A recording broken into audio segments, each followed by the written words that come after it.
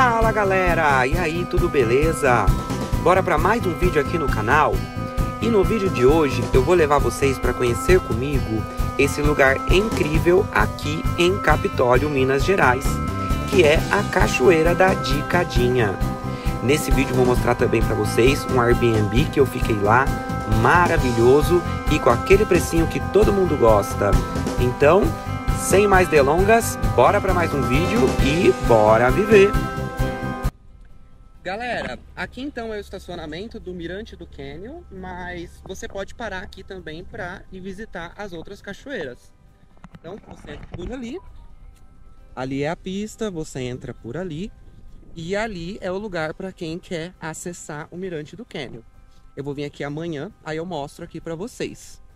E aí entrou, desce aqui, já tem um lugar para você parar os carros e fazer a visita para as cachoeiras que tem aqui em frente ou para você ir no Mirante do Canyon. Hoje nós vamos na Cachoeira da Dicadinha, ou Diquadinha, não sei ao certo como que fala.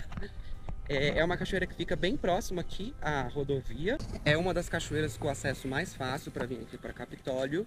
E eu vou mostrar ela toda certinho para vocês. Vem comigo e bora viver. Galera, então estamos saindo aqui do estacionamento e é bem próximo aqui a cachoeira. A cachoeira que nós vamos fica ali, ó, onde tem aquela casinha. Então é só você caminhar um pouquinho que a gente chega até ela. É, é uma cachoeira que dá pra você entrar com um cooler, então estamos levando uma bebidinha, uma comidinha para passar a tarde. É um dia bem bonito, um sol bem gostoso para mais um dia de cachoeira. Já vou mostrar aqui para vocês, ó, ó aqui no meu lado esquerdo. Aí, ó, é o mirante do Canyon, onde a gente vai vir amanhã. Tem aquela ponte ali para atravessar, super legal. Nós vamos, vamos por aqui, gente. Essa cachoeira aí custa 20 reais para entrar, para passar o dia.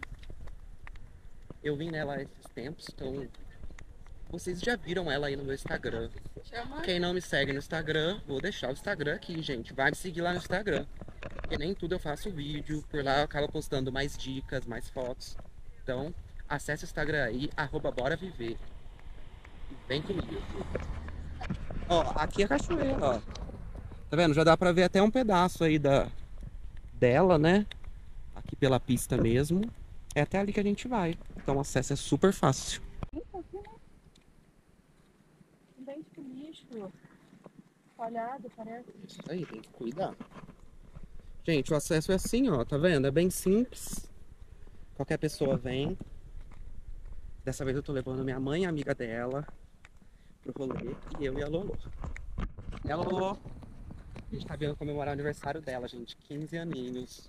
Um bebê. Aí aqui, ó, a entrada pra você ir pra Cachoeira 1, que na verdade é só uns laguinhos que tem ali embaixo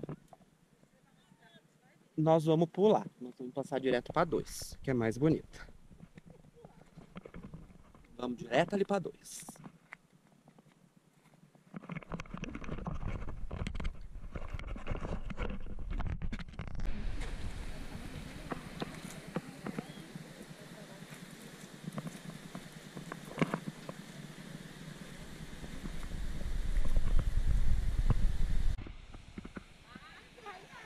Avó é medrosa. A água tá muito fria. Tá? Tá bom. Olha aqui. Olha aqui. Galera, essa é a primeira cachoeira, então, aqui da Cachoeira de Cadinha. Tem esse poço maravilhoso. Dá pra nadar, pra mergulhar. Tem aquela queda que dá pra ir até lá. A Cleusa já tá lá, ó. Desbravando.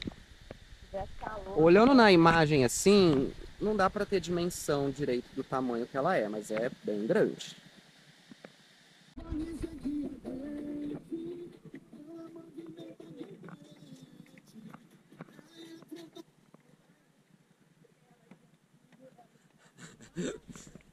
Essa daqui é bem curtinha.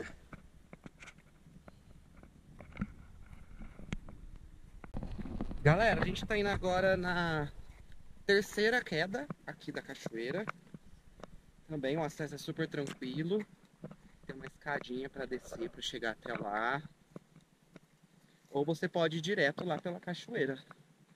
Pega ali a segunda cachoeira, Ah. sobe ali do lado, você vai chegar nesse mesmo lugar.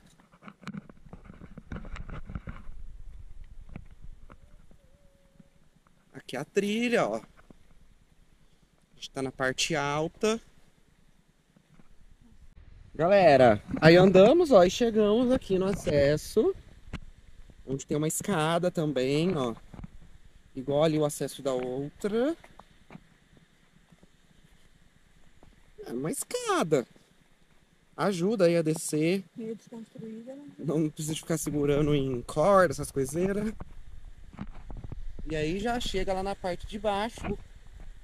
E anda um pouquinho pra lá. Até chegar na outra. Galera, já chegamos então aqui na segunda cachoeira. Ali foi onde a gente desceu aquela escada. Aí é só andar esse trajeto aqui. Que já chegamos aqui. Dá um grau. Olha a água. Aqui tem esse paredão. Que fica pingando uma água. E aqui é o outro paraíso. É a outra queda da cachoeira de Cadinho.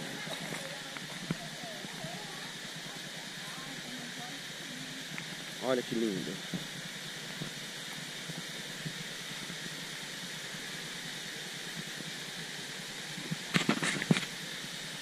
Vou subir aqui, ó, para vocês terem uma visão de cima.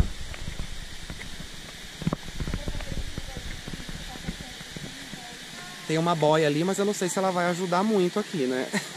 ai, ai.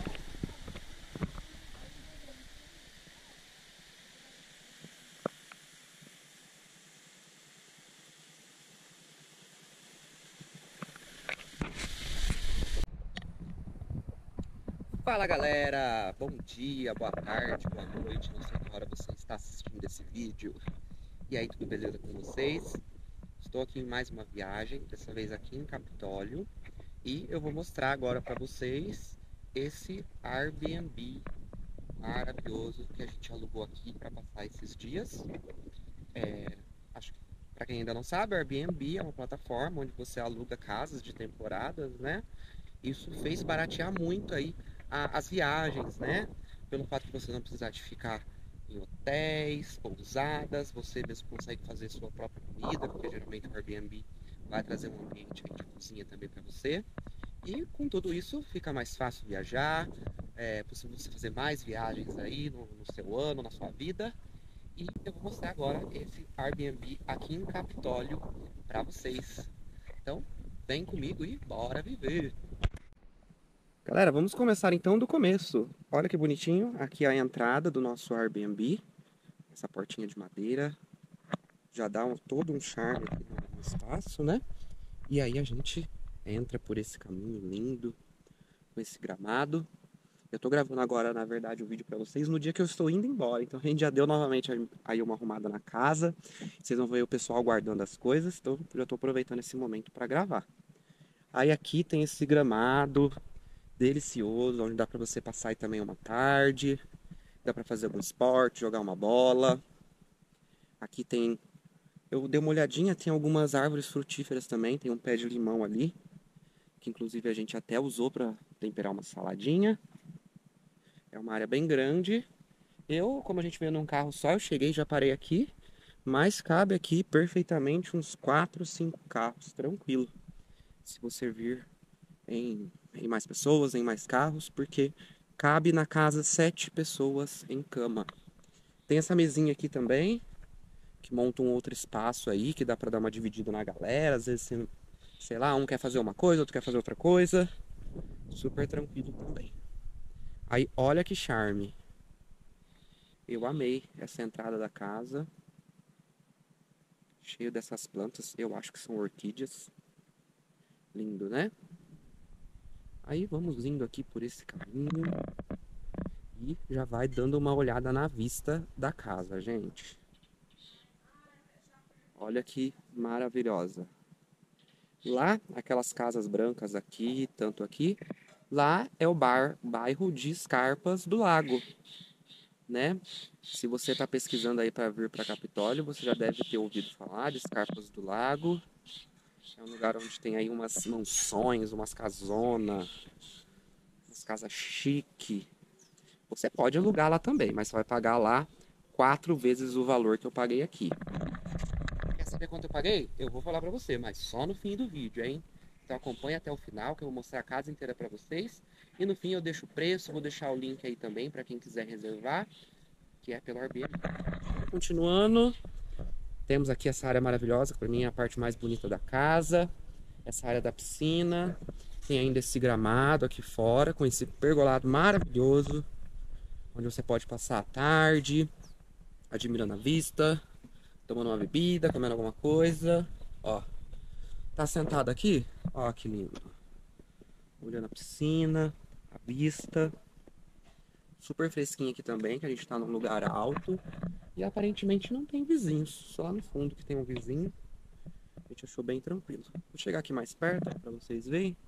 Tá vendo? Não tem nada para cá. E lá já é o lago. Lindo, né?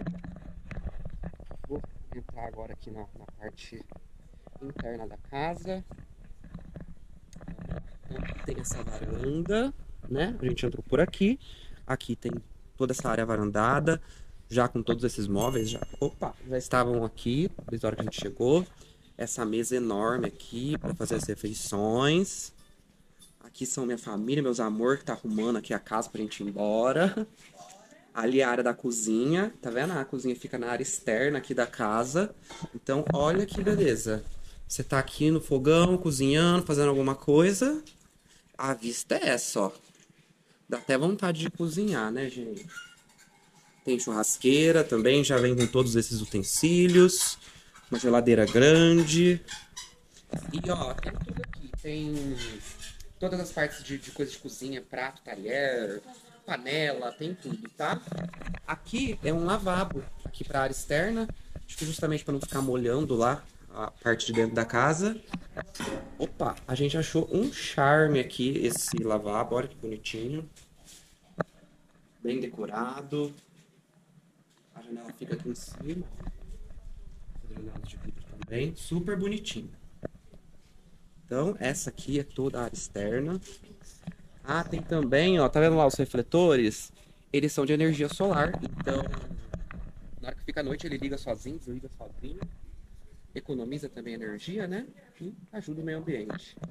Olha esse detalhe, que lindo. Essa janela em V de vidro fica super bonita também. Aí a porta já tá aberta, mas eu vou fechar. Olha essa porta.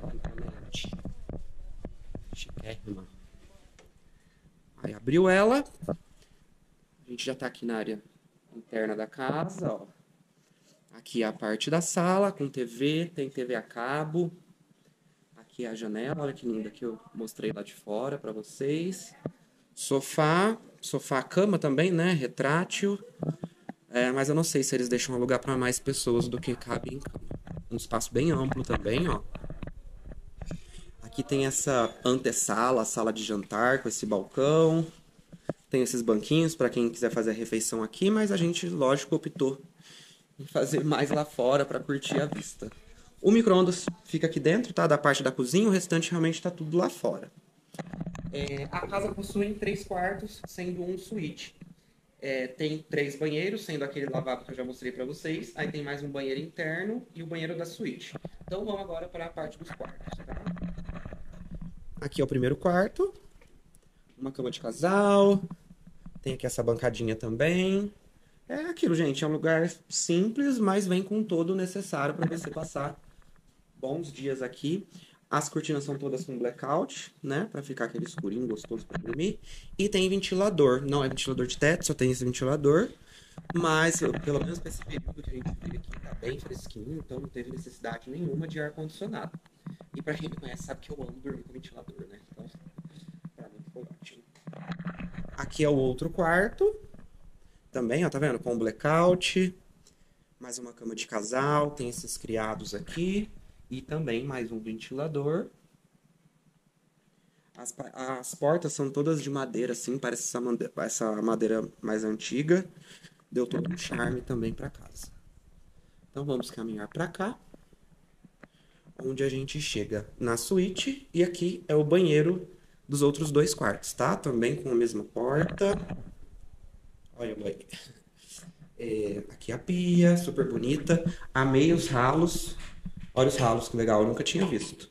É só apertar que ele é, abre e fecha. A parte do banheiro, só faltou o box, né? Que a gente achou que fez falta aí, porque acaba molhando bastante o banheiro. Mas é um banheiro bem amplo também. Chuveiro quentinho, uma delícia. E aqui, vamos entrar na suíte. Então, é suíte e mais uma cama de apoio, também com ventilador. Aqui já tem essa peça um pouco maior para você guardar as, as, coisas, né? Caso queira deixar aí no, no armário. Tem mais dois criados ali, com gaveta também. Esse armário está trancado, não acredito ser dos proprietários, por isso que está fechado, então a gente não tem acesso a ele. E aqui é o banheiro da suíte. Bem parecido ali, né? Com outro banheiro, também com essa bancada, pia de vidro. Também com um sistema de ralo. Tanto o ralo que eu mostrei aqui na pia é o mesmo ralo que eles utilizam no chão. É só apertar que ele fecha e abre. Chuveiro a mesma coisa, super quentinho. Banheiro do mesmo tamanho. Só não tem o box, que ia ajudar bastante aí no lambrecar aqui tanto chão. Beleza, galera? Essa é a suíte, ó, bem ampla também o quarto. Super gostosa. E aí, o que vocês estão achando? A gente adorou passar os dias aqui. É, casa, então, possui esses três quartos. Deu pra ver aí que cabe em camas. É, sete pessoas em cama. E eles só alugam no Airbnb para essa quantidade. Não sei se vocês chamarem para conversar, tentar negociar dá para fazer alguma coisa diferente. E ó quem tá chegando aqui. O amarelão, né, amarelão? O amarelão, gente, ele vem aqui todo dia ver nós. Ele é super bonzinho. Né, filho? Fala, eu sou bonzinho. Senta, amarelão, senta. Senta. Bonitão. Bonitão. Bonitão. A gente deu comida para ele, né, amarelão? Gostoso. Super bonzinho, gente não enche o saco, ele brinca, e mas sabe respeitar o espaço. Você fala para ele que tá bom, tá bom, ele já vai embora. é, galera, fiquei de falar o preço para vocês, né? Nós alugamos então para entramos sexta e estamos saindo hoje domingo. Nós pagamos 650 reais. Então foram duas diárias. Eu reservei para seis pessoas. Então, para vocês saberem mais ou menos o preço, gira em torno desse valor que eu passei. Mas é lógico que às vezes vocês procurarem em alta temporada, período de férias, para menos pessoas, mais pessoas, pode ter alguma alteração aí no preço, então sempre vale a pena você consultar com antecedência no Airbnb, que sempre traz o preço ali para você. O Airbnb é uma ferramenta também que dá para você parcelar o pagamento, que acaba ajudando bastante também aí na, nas viagens, né? E que mais?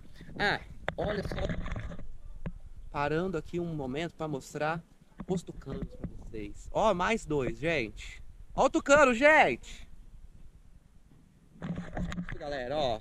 Passeio na serra tem dessas coisas. Além dessa vista maravilhosa, acontece isso. Passa tucano, passa macaco, passa gavião. é...